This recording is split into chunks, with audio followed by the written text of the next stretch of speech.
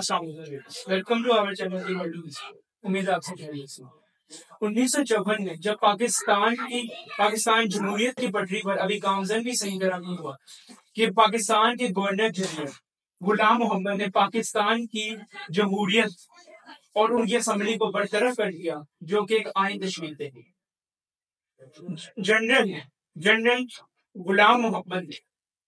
इस एक्ट जो कि हिंदुस्तान का 1935 गुलामी एक्ट था, उसका इस्तेमाल करते हुए असम्बली को बरतरफ कर दिया जो कि पाकिस्तान का आइन तश्कील है। इसके मुकाबले में गवर्नर जनरल गुलाम मोहम्मद के बरतरफ स्पीकर तमीजुद्दीन ने पाकिस्तान की जमहूरियत को पटरी पर लाने की कोशिश की और सिंध हाई कोर्ट में ये अपील दायर की कि पाकिस्तान जो कि एक आज़ाद और खुद मुख्तार मुल्क है, उसका फैसला हिंदुस्तान के गुलामी एक्ट 1935 के मुताबिक नहीं होना चाहिए और सिंध कोर्ट ने इस बात को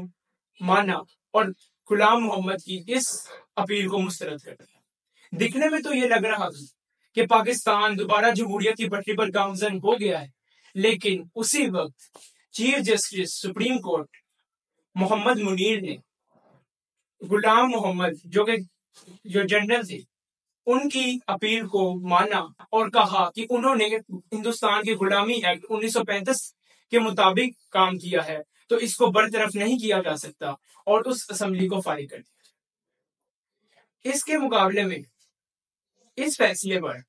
चार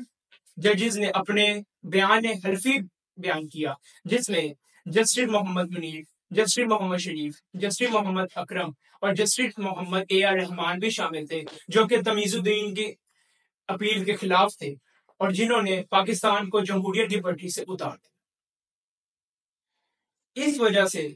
आने वाले डिक्टेटर्स ने बहुत ज़्यादा फ़ायदा उठाया और पाकिस्तान की जमहूरियत को नाकाबिल नुकसान पहुँचा। उन्नीस सौ पचपन में गवर्नर जनरल गुलाम मोहम्मद की तबीयत नासाज होने लगी और उनको, और वो अपनी कुर्सी के साथ चिमटे हुए थे और वो अपनी कुर्सी को छोड़ नहीं पाए। सिकंदर मिर्ज़ा और वहाँ के जनरल अयूब खान ने उनको फोर्स किया और उनको बिरौने मुल्क इलाज के लिए भेज दिया। और उसके बाद पाकिस्तान के नए गवर्नर जनरल बने अयूब खान और पाकिस्तान की जमहूरियत की भागदौड़ संभाली सिकंदर मिर्ज़ा। सिकंदर मिर्ज़ा ने भी पाकिस्तान की आइन की तरफ़ कोई रुझान न दिया और ना के मशरकी पाकिस्तान में जो पाकिस्तान के खिलाफ मुहिम चलाई जा रही थी, उसके खिलाफ भी कोई अमल सर नहीं दिया, जो कि खुद वो मशरकी पाकिस्तान से ताल्लुक था उनका। पाकिस्तान की कहानी जारी है।